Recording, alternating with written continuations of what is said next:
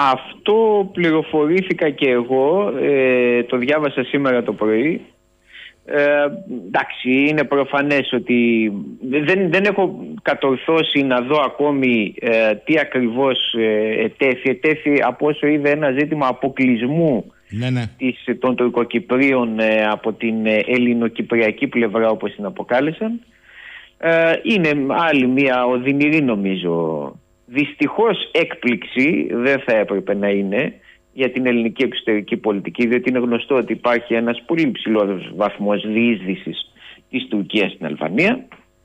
Λοιπόν, και φαίνεται μάλιστα ότι δια της Αλβανίας ότι, και δια της Αλβανίας ότι η προσέγγιση χωρών με τους δυτικούς λεγόμενους θεσμούς ε, κάθε άλλο παρά εγγυάται την διεύρυνση της ελληνικής επιρροής σε αυτές τις χώρες. Ε, ε, το ε, λέω αυτό γιατί ήταν ναι, το ναι. βασικό επιχείρημα και σε σχέση με τη Συμφωνία των Πρεσπών. Μάλιστα. το αντίθετο θα λέγει κανείς. Αφού παίρνουν τη, την πράσινη κάρτα να το πω έτσι, μετά αρχίζουν και βάζουν μία ατζέντα. Δηλαδή αφενός μεν μας ευχαριστούν για την πράσινη κάρτα και μετά βάζουν μία ατζέντα.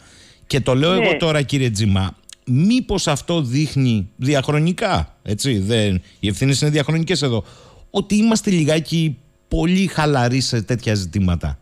Όχι, ξέρετε τι, ε, ξεχνούμε ότι στους ίδιους θεσμούς ανήκει και η Τουρκία. Δεν παίζουμε μόνο εμείς. Ε, άρα και, και η πίεση, αυτό το οποίο κατανόησε η Τουρκία, το συζητούσαμε και μαζί με την περίπτωση της Σουηδίας και της Φιλανδίας, μπορεί να ασκηθεί έως ότου κανείς μπει. Άπαξ και μπει, ε, δεν υπάρχει κανένας τρόπος να ασκήσεις πίεση, τουλάχιστον από αυτούς τους συμβατικούς τρόπους, τους διπλωματικούς. Διότι πια είναι μέλος στην ίδια οικογένεια, στην ίδια οικογένεια υπάρχει και η Τουρκία και άρα μπορεί να επιλέξει με ποιον θα έρθει πιο κοντά και με ποιον θα απομακρυνθεί. Ε, πολύ περισσότερο όταν μιλούμε για θεσμούς ε, στους οποίους η Τουρκία κατέχει, διατηρεί πιο σημαντικό ρόλο από τη Ελλάδα. Ε, εννοώ επί της ουσίας το επίπεδο των πραγματικών σχετισμών. Τέλος πάντων η ιστορία της προσέγγισης Αλβανίας με την Τουρκία είναι παλιά, ε, έχει διευρυνθεί, προφανώς συνιστά έναν κίνδυνο, ε, είναι επικίνδυνο για την Ελλάδα και από πλευράς διπλωματικής αλλά και από πλευράς άμυνας ότι πια δεν έχει την Τουρκία μόνο στα ανατολικά της αλλά την έχει και στα νότια της, στη Λιβύη και, και την έχει και στα ε, βόρειά της, βορειοδυτικά στην Αλβανία. Ε, όπως επίσης ένα ζήτημα για την Ελλάδα ότι η Βουλγαρία σήμερα δεν είναι η Βουλγαρία του Ζήφκοφ ε, του 1987. Είναι μια άλλη Βουλγαρία, πολύ πιο αδύναμη, πολύ πιο φιλική έως κατά ένα μέρος σημαντικό ε, επηρεαζόμενη από την Τουρκία.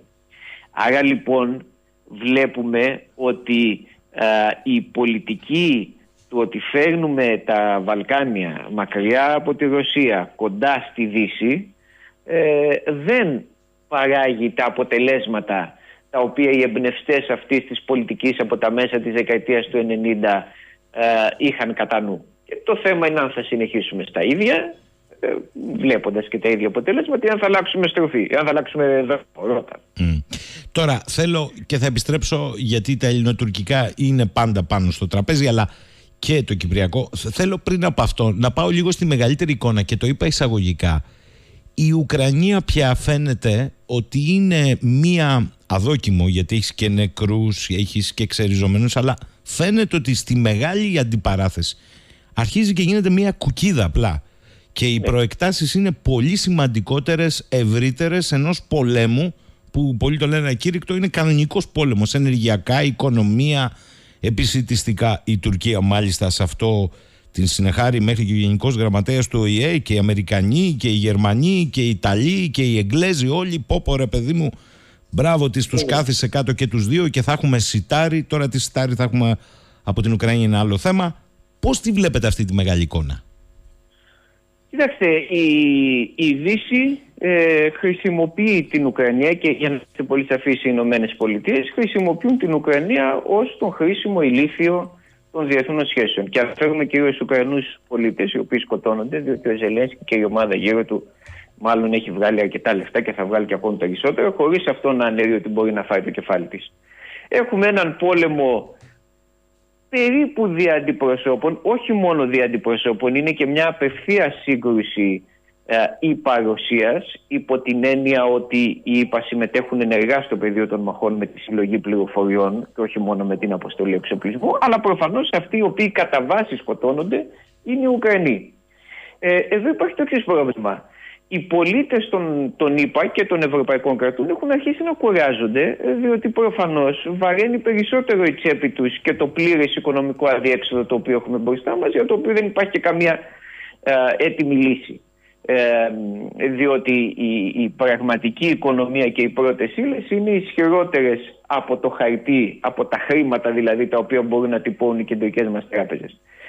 Ενώ λοιπόν υπάρχει από τη μια αυτή η δυσφημία, η οποία θα γίνει πολύ μεγαλύτερη το χειμώνα, ε, οι κύκλοι των Ηνωμένων Πολιτειών που θέλουν σύγκρουση ή θεωρούν ε, ότι είναι βέβαιη και η σύγκρουση με τη Ρωσία και την Κίνα και θέλουν να την κερδίσουν, συνεχίζουν να τροφοδοτούν τον πόλεμο αυτό με κάθε τρόπο. Ποιο είναι το τελευταίο, ε, το πιο πρόσφατο δηλαδή χαρτί που χρησιμοποιούν, δίνουν όπλα ολοένα μεγαλύτερου βεληνικού στους Ουκρανούς προκειμένου να αναγκάσουν τους Ρώσους να κινηθούν όσο περισσότερο προς τα δυτικά και άρα να τραβήξει ο πόλεμος πολλούς μήνες ακόμη αν όχι και χρόνια.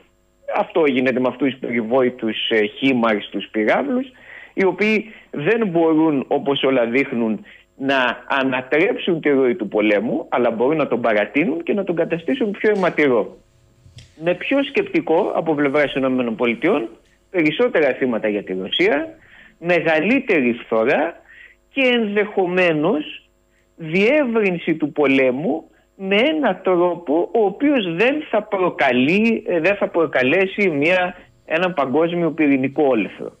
Ε, αυτό είναι όλο το σχέδιο ε, και βεβαίως πρώτα απ' όλους υποφέρουν οι Ουκρανοί διότι εξυπηρετούν ξένα συμφέροντα εδώ και 8 χρόνια εξυπηρετούν ξένα συμφέροντα, οι ηγεσίες τους και δευτερευόντως υποφέρουν βεβαίως και οι Ρώσοι.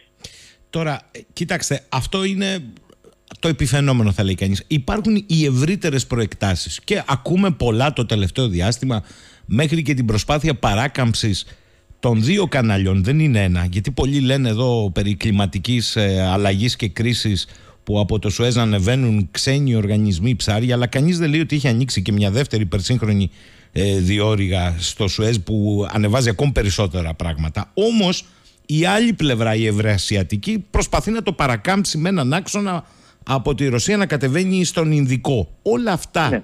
θέλω να σας ρωτήσω. Τι ακριβώς σηματοδοτούν για την Ανατολική Μεσόγειο αν λάβουμε υπόψη μας, το έχετε πει και εσείς, ότι το μεγαλύτερο παιχνίδι είναι στον Ινδικό, στον Ειρηνικό, Νότια Συνική κτλ.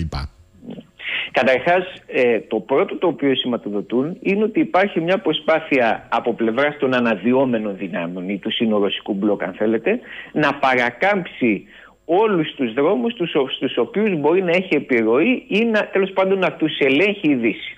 Είτε να τους ελέγχει είτε να έχει επιρροή. Ε, άρα και, και αυτό θα συνοδευτεί, κατά τη γνώμη μου, πρώτον από την οικοδόμηση εναλλακτικού αποθεματικού νομίσματος ή καλαθιού νομισμάτων, που είναι και το πιθανότερο, και εναλλακτικών διεθνών οικονομικών οργανισμών. Δεύτερον, η Ανατολική Μεσόγειος θα εξακολουθήσει να είναι στο επίκεντρο όχι μόνο ως μετακομιστική οδός, αλλά διότι στην Ανατολική Μεσόγειο συγκεντρώνονται, πέραν του πρώτου δηλαδή, ορισμένες πολύ σημαντικές μεσαίες δυνάμεις. Τουρκία, Αίγυπτος, ε, στην ευρύτερη Μέση Ανατολή ε, το Ιράν, το Ισραήλ και μέσα σε, αυτό το, ε, σε αυτή τη σύνθεση υπάρχουμε και εμείς οι οποίοι δεν αποτελούμε μεσαία δύναμη, μικραίνουμε δυστυχώς, αλλά τέλος πάντων έχουμε να κάνουμε με αυτές τις μεσαίες δυνάμεις.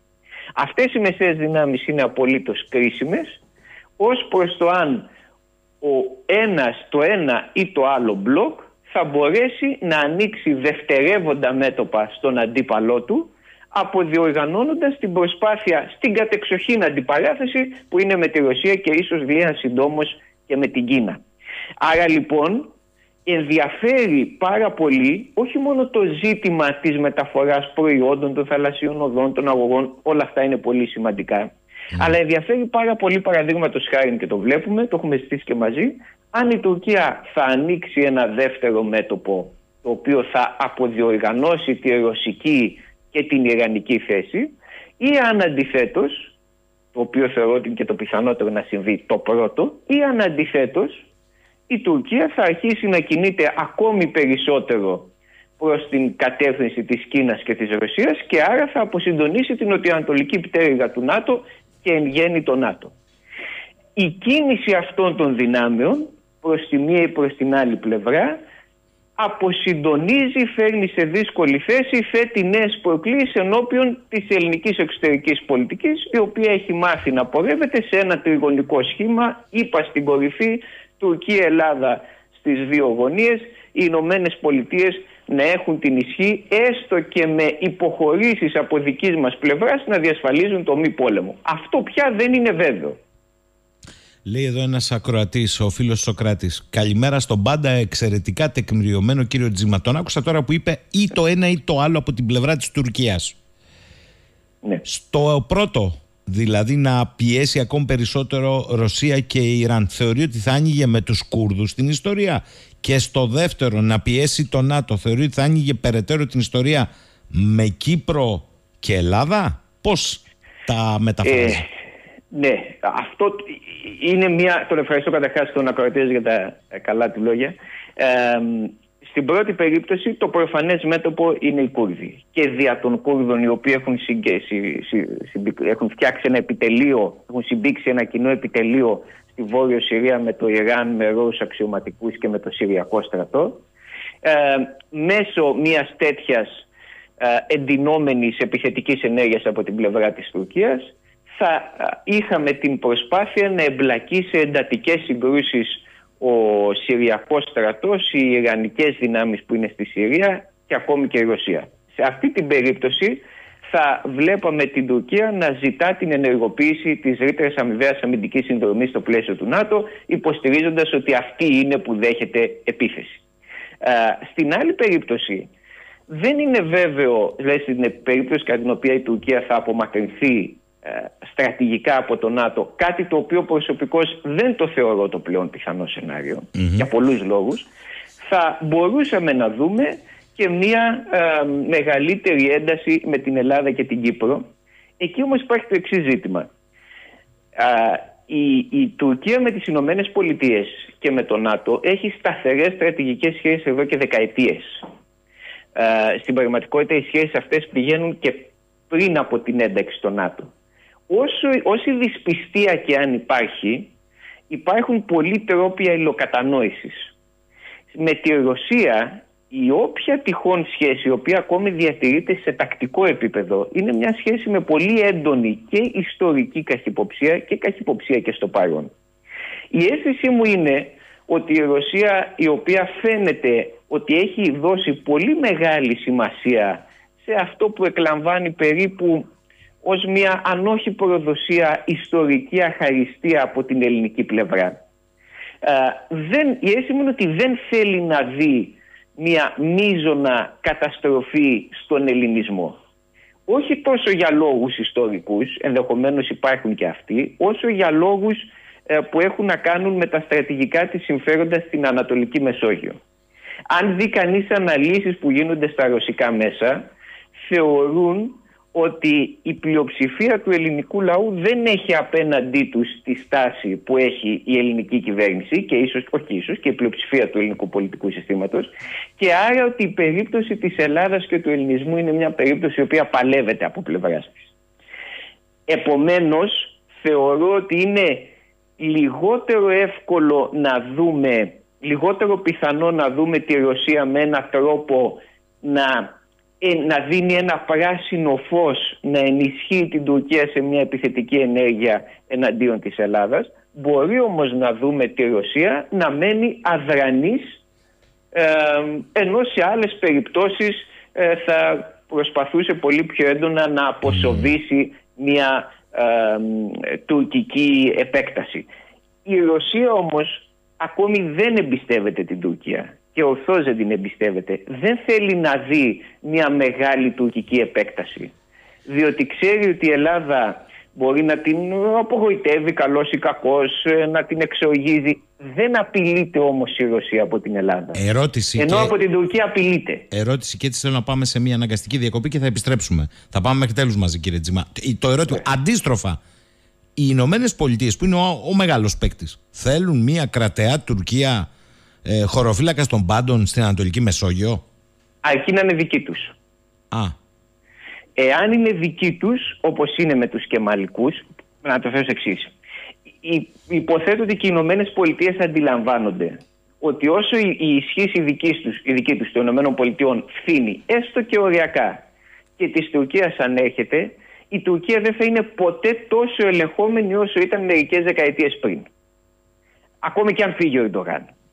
Ε, και το όλο ρεύμα το οποίο εκφράζει, δηλαδή η πιο φιλοϊσλαμική νεοοθωμανική ατζέντα σε διαφοροποίηση από την φιλοδυτική νεοοθωμανική ατζέντα. Αλλά μια κεμαλική Τουρκία, δηλαδή μια πολύ περισσότερο ελεγχόμενη και ενταγμένη στη Δύση Τουρκία, ναι, για τις Ηνωμένες Πολιτείες ήταν και παραμένει ένας ιδεώδης χωροφύλακας στην περιοχή. Ο χωροφύλακας στην περιοχή δεν σημαίνει ότι κάνει ό,τι θέλει, προφανώς, ε, δεν είναι κυρίαρχος, υπάρχουν και άλλοι δρόντες τους οποίους θέλει να έχει και ως πολύ και έχει ως στενούς συμμάχους έχουν οι Ηνωμένες Πολιτείες, αλλά προφανώς ένας τέτοιος χωροφύλακας θα έχει τον πρώτο λόγο σε σχέση με υποδέστερους συμμάχους τον είπα όπως είναι και η Ελλάδα. Πιστεύει ο αξιολογότατος κύριος Τζίμας πως οι ελληνικές κυβερνήσεις διαχρονικά και ειδικότερα του Υπουργείου Εξωτερικών και πάλι διαχρονικά είναι τόσο αφελείς όταν θεωρούν πως οι χάρες και τα δώρα που κάνουν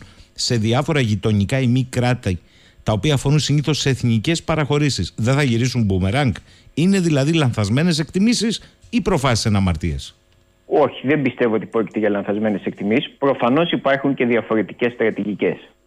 Ε, και ως προς τις διαφορετικές στρατηγικές, θα πρέπει να πούμε το εξής.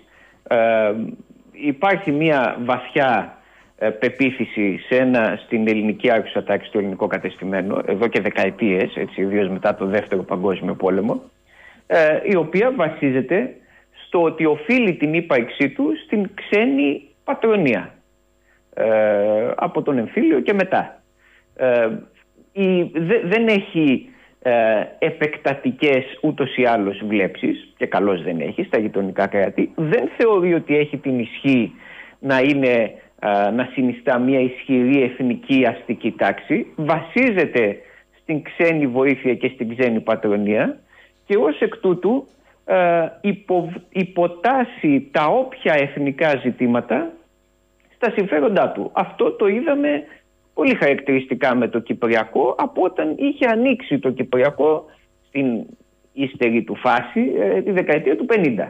Λοιπόν, σε αυτό το πλαίσιο ε, και η, η, η άρχουσα πολιτική τάξη ε, με ελάχιστες εξαιρέσεις θεωρεί προτιμότερο να εξυπηρετεί ξένα συμφέροντα διασφαλίζοντας την υπάρχουσα κατάσταση πραγμάτων στο εσωτερικό και κατά το δυνατόν όχι περιπέτειες στο εξωτερικό, έτσι όπως η ίδια αξιολογεί το όχι περιπέτειες, διότι δεν έχει αποδειχτεί πολύ πετυχημένο αυτό το μοντέλο μέρες που είμαστε κιόλας και θυμόμαστε το τι συνέβη όσοι θυμόμαστε στην Κύπρο. Θεωρεί λοιπόν πολύ πιο εποφελές για την ίδια ένα τέτοιο μοντέλο, εξυπηρετώ ξένα συμφέροντα, αυτά διασφαλίζουν την εσωτερική μου κυριαρχία και ότι δεν θα έχω εξωτερικές περιπέτειες, παρά να υπερασπίζεται αυτά τα οποία κατά τα λοιπά το ίδιο το κατεστημένο διακηρύσει ως εθνικά δίκαια, δικαιώματα και πάει λέγοντας.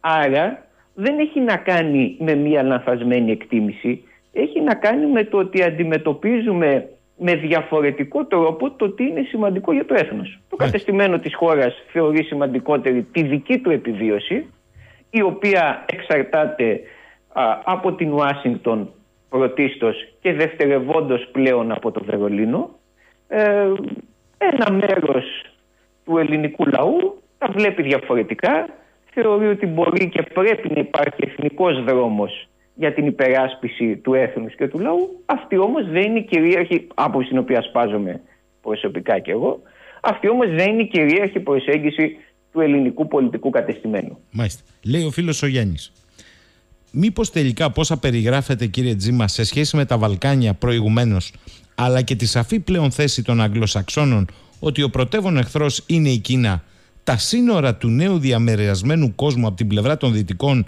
τελειώνουν στην Ελλάδα και θα έχουμε απέναντί μας τις δυνάμεις Ευρασίας και έστω ως προκεχωρημένο θυλάκιο κάτι πρέπει να ζητήσουμε, να απαιτήσουμε να έχουμε; Ε, δεν συμφωνώ με αυτήν την σας πω γιατί πρώτα απ' όλα δεν μπορεί να σταθεί.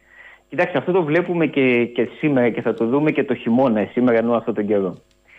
Η ιδέα ενός ε, δυτικού κόσμου, δηλαδή Ηνωμένων Πολιτειών, κεντρικής και δυτικής Ευρώπης, Αγγλοσαξώνων, άντε και Αυστραλίας ως φρουρίου, δεν μπορεί να σταθεί δεν μπορεί να σταθεί και δεν υπήρξε ποτέ, διότι δεν υπάρχουν οι φυσικοί πόροι που είναι αναγκαίοι για να σταθούν αυτές οι τόσο βιομηχανικές οικονομίες. Ο λόγος για τον οποίο οι Ευρωπαίοι από αιώνες πριν ξεκινούν να εξερευνούν τον κόσμο και σταδιακώς επεκτείνονται δια της απεικιοκρατίας, του υπεριαλισμού κτλ. είναι ότι δεν είχαν τους φυσικούς πόρους που ήταν αναγκαίοι για να στηρίξουν τις οικονομίες τους. Πολύ περισσότερο όταν οι οικονομίες τους κατέστησαν βιομηχανικές. Άρα δεν μπορεί να σταματάει αυτός ο κόσμος στην Ελλάδα διότι δεν θα επιβιώσει οικονομικός. Αυτό το πρόβλημα αντιμετωπίζουμε αυτόν το χειμώνα και πιθανότατα και τους επομένους θα αντιμετωπίσουμε. Ο δυτικός κόσμος είναι ένας κόσμος ο οποίος δεν έχει τους αναγκαίους πόρους ούτε καν οι Ηνωμένε Πολιτείε που έχουν ε, πολύ μεγαλύτερη επάρκεια φυσικών πόρων η Ευρώπη με την έννοια της Ευρωπαϊκής Ένωσης σε καμία περίπτωση. Άρα λοιπόν τα σύνορά σου πρέπει να πάνε στις χώρες εκείνες, εννοώ κατά τους σχεδιαστές πολιτικής, έτσι, τους συγκεκριμένους, οι οποίες διαθέτουν τους φυσικούς πόρους, τους αναγκαίους. Και αυτό συμπεριλαμβάνει και τη Ρωσία, συμπεριλαμβάνει ένα πολύ μεγάλο, βασικά και την Αφρική κτλ. κτλ. Επομένως δεν μπορεί τα σύνορα να σταματούν εδώ. Αυτή η άποψη υπήρχε ε, διακινήθηκε όχι τυχαία πάρα πολύ στον ελληνικό λαό από συγκεκριμένους δημοσιογράφους, ακαδημαϊκούς κτλ. Ότι κοιτάξτε η Τουρκία θα πάει από την άλλη πλευρά, εμείς θα είμαστε από την πλευρά των Ηνωμένων Πολιτειών το σύνορο, άρα θα μπορούμε να διεκδικήσουμε πάρα πολλά πράγματα. Πέραν το ότι είναι πολύ αμφίβολο ακόμη και έτσι να συνέβαινε το τι μπορείς να διεκδικήσεις. Δηλαδή, ας πούμε ότι συνέβαινε αυτό το πράγμα και ήμασταν εμείς στο σύνορο. Τι θα ζητούσαν από τις ΗΠΑ, να πολεμήσουν για χάρη μας τους Τούρκους, προκειμένου να πάρουμε τι; Ακριβώς. Λοιπόν, αυτά δεν γίνονται. Το βλέπουμε και στην Ουκρανία. Οι Ουκρανοί σκοτώνονται. Δεν πρέπει ποτέ να ξεχνούμε αυτό το μάθημα, το οποίο μας το είχαν δώσει οι Αμερικανοί και με τους Κούρδους. Οι Κούρδοι σκοτώνονταν και με τους Αφγανούς, οι Αφγανοί σκοτώνονταν, δεν θα σκοτωθούν οι Αμερικανοί και καμία ξένη δύναμη για σένα. Αλλά επαναλαμβάνω ότι από πλευράς φυσικών πόρων, αναγκαίων πόρων, ακόμα και, πληθυσμια... και από πληθυσμιακής απόψεως και ανθρωπίνων πόρων, ένα τέτοιο φρούριο δυτικό δεν μπορεί να σταθεί. Και το γνωρίζουν πολύ καλά αυτό στην Ουάσιγκτον. Γι' αυτό η Ελλάδα δεν μπορεί να είναι το σύνορο του δυτικού κόσμου. Θέλω λοιπόν ε, και επανέρχομαι. Θέλω ε, στον επίλογο μας σήμερα θεματικά και να είμαστε καλά να μπορέσουμε να τα πούμε με την επάνωδο φαντάζομαι της εκπομπής. Ε, ναι. Επειδή όμως ε, και ο Αύγουστος και ο Σεπτέμβριος και γενικώς η πορεία δεν είναι μόνο οι εκλογικές τροχές Τουρκία, Κύπρο και Ελλάδα. Ε, μπορεί να μην είναι στο άμεσο μέλλον, αλλά είναι τουλάχιστον το 23 μπορεί να έχουμε και στις τρεις ε, χώρες εκλογές. Και στις τρεις. Ναι. Ε, θέλω να μου πείτε ποια είναι αυτή τη στιγμή η δική σας φέρουσα οπτική στα ελληνοτουρκικά; Δηλαδή, πού βλέπετε να οδηγούνται τα πράγματα πέρα από τις προκλήσεις και στο Κυπριακό ε, ομολογώ ότι την Παρασκευή σε μια τηλεοπτική εκπομπή μας έκανε εντύπωση του πώς ο ένας υποψήφιος, δεν σημαίνει τίποτα αυτό, κατέθεσε όμως μια οπτική έξω από τη φέρουσα αντίληψη και, στην Κυπρια... και στο κυπριακό πολιτικό σύστημα και στο ελληνικό πολιτικό σύστημα ότι η διζωνική, η δικοινοτική ομοσπονδία δεν είναι παρά ένας φερετζές του σχεδίου Ανάν που θα καταστήσει όχι μη βιώσιμη απλά τη λύση ε, στην ουσία θα διαλύσει την Κυπριακή Δημοκρατία. Αυτή ήταν μια οπτική. Όμως θέλω να μου τα πείτε και για τα δύο, διότι ξέρω ότι και στις αναλύσεις σας το προσεγγίζετε. Έχω μία απορία και μαζί με όλα αυτά θα σα αφήσω μετά εσείς να κλείσετε, δεν θα παρέμβω, εκτός αν ακροατής. Έχω και μία απορία. Η Τουρκία, καλός ή κακός, μας αρέσει, δεν μας αρέσει. έχει μία αντίληψη, το διαβάζεις και το, το λένε και το δείχνουν με κάθε τρόπο. Θεωρεί την Κύπρο, όχι αν δεν είχε Τούρκο, τη θεωρεί εκ προημίου στρατηγικής σημασίας βάθους για την ίδια περιοχή. Ο ελληνισμός ναι. τι τη ναι. θεωρεί την Κύπρο τελικά; Ε, λοιπόν, πρώτον, το Κυπριακό, όπως έχει πάρα πολύ σωστά πει και ο στρατηγός ο Δημήτρης ο Αλευρομάγερος, τον οποίο τον έχετε φιλοξενήσει αρκετές φορές, είναι τμήμα του Μεσανατολικού. Και από τη στιγμή που είναι τμήμα του Μεσανατολικού αφορά τις μεγάλες δυνάμεις άμεσα. Γι' αυτό είχε και την εξέλιξη που είχε, γι' αυτό έγινε και η δικτατορία στην Ελλάδα και γι' αυτό είχε γίνει και αποστασία πριν τη δικτατορία. Λοιπόν, και βεβαίως συνιστά στρατηγικό ζήτημα για την Τουρκία, διότι η Τουρκία δεν αισθανόταν ασφαλής με μια ισχυρή Κύπρο ε, στο μαλακό της υπογάστρου. Δεύτερον, νομίζω ότι η Τουρκία ασχέτως του τι λέει, περισσότερο από όλα στην Κύπρο πλέον, εδώ που έχουν έρθει τα πράγματα, φοβάται τη λύση των δύο κρατών. Ασχέτως ό,τι ζητάει. Γιατί ένα ισχυρό κυπριακό κράτος, όχι στον ίδιο βαθμό κατά τον οποίο θα συνέβαινε αυτό εάν είχαμε μια ενιαία Κύπρο, αλλά πάλι σε σημαντικό βαθμό θα είναι ένας κίνδυνος για την Τουρκία. Η Τουρκία, και γι' αυτό έχουμε στο Κυπριακό παίζουμε ένα παιχνίδι. Το παιχνίδι λέγεται το Κυπριακό έχει λυθεί δια της εισβολής και της κατοχής. Αυτό το λέει η Τουρκία και εμείς δεν το λέμε μεν αλλά δεν κάνουμε και τίποτα στην πραγματικότητα και κατά τα άλλα έχουμε αέναες διαπραγματεύσεις προκειμένου να περνά ο καιρός και γενιά τη γενιά να γίνεται αντιληπτό αν όχι ως λιμένο τουλάχιστον ως ένα παγωμένο ζήτημα. Εξού και πια δεν απασχολεί το Κυπριακό δυστυχώς την ελληνική κοινή γνώμη. Έτσι. Λοιπόν, αυτή είναι μια τουρκική επιτυχία. Φοβάται η Τουρκία πάρα πολύ μια ισχυρή Κυπριακή Δημοκρατία και σαφώς η Διζωνική Δικοινοτική Ομοσπονδία η οποία ως όρος δεν σημαίνει και τίποτα. Διότι όπως είδαμε ο καθένας μπορεί μέσα σε αυτόν τον όρο να βάλει ό,τι θέλει. Λοιπόν, σαφώς η Διζωνική Δικοινοτική Ομοσπονδία θα σήμαινε με τον συγκεκριμένο σημερινό συσχετισμό που υπάρχει μεταξύ Ελλάδας και Τουρκίας μια πολύ μεγάλη ε, τουρκική ισχύ στο σύνολο ε, του κράτους που θα προεκύψει.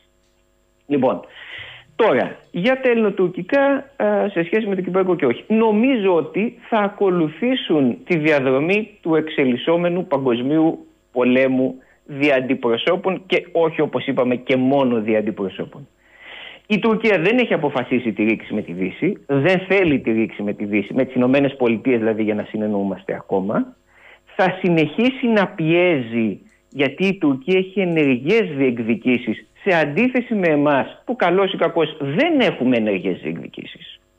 Λοιπόν, το να πάρουμε ένα κομμάτι από την πίτα των φυσικών πόρων της Νοτιοανατολικής Μεσογείου δεν είναι μια ενεργή διεκδίκηση. Εντάξει, αυτά είναι συμφέροντα ορισμένων εταιριών που βάζουν μπροστά και τα αντίστοιχα κράτη. Η Τουρκία έχει ενεργές εθνικές διεκδικήσεις στην Μέση Ανατολή, και στον έλεγχο της Ανατολικής Μεσογείου δια του Αιγαίου. Θα συνεχίσει να πιέζει λοιπόν με πολλούς τρόπους. Το κάνει με αρκετά μεγάλη επιτυχία και σίγουρα με μεγαλύτερη από εμάς που μη έχοντας διεκδικήσεις τέτοιες, μη έχοντας δική μας εθνική στρατηγική ούτως ή άλλως δεν μπορούμε προφανώς και να πιέσουμε άρα είμαστε δεδομένοι. Και επομένως οι εντάσεις ή οι θέσει των εντάσεων στα ελληνοτουρκικά και σε σχέση με την Κύπρο θα ακολουθούν με μια ορισμένη καθυστέρηση και άμεσα από πλευράς χρονικής την πορεία των Αμερικανοτουρκικών σχέσεων. Η αίσθησή μου είναι ότι η Τουρκία αυτή τη στιγμή δεν θέλει να σπάσει το σκηνη δεν θέλει να βγει σε απευθεία σύγκρουση με την Ελλάδα, θέλει να συνεχίσει να μας πιέζει και να δημιουργεί μικρά αλλά σημαντικά τετελεσμένα όπως έχει κάνει όλο το προηγούμενο διάστημα με πιο πρόσφατη περίπτωση το καλοκαίρι του 20 όπου εμείς πανηγυρίζαμε στα κανάλια μας για την επακούμβηση αλλά την ίδια στιγμή η Τουρκία πέτυχε να ορίσουμε ως κόκκινη γραμμή τα έξι ναυτικά μίλια και να ξαναπούμε ότι η Κύπρος κοίται μακρά δια του άλλο Κύπρος, άλλο Ελλάδα. Δεν μου λέτε κύριε Τζίμα, ζητώ συγγνώμη αλλά πρέπει να το ρωτήσω, αυθόρμητα βγαίνει. Άρα, εάν διαβάζουμε την οπτική σας, θεωρείτε πιθανότερο αυτό το νέο γεροτρύπανο 7η γενιάς να το εκκινήσει, δεν λέω τι θα συμβεί από και κάτω, ακόμη και ανατολικά της Κρήτης στο λεγόμενο τουρκολιβικό που λέμε παράνομα αλλά παράγει δυστυχώς παράγει καταστάσεις μέχρι στιγμής. Σαφώς και μάλιστα, και μάλιστα. κάνουμε και το λάθος ε, να το λέμε και ανυπόστατο ενώ δεν είναι ανυπόστατο. Ε, είναι απλώς εκεί καταφέρουμε σε διάφορες λεκτικές ακροβασίες.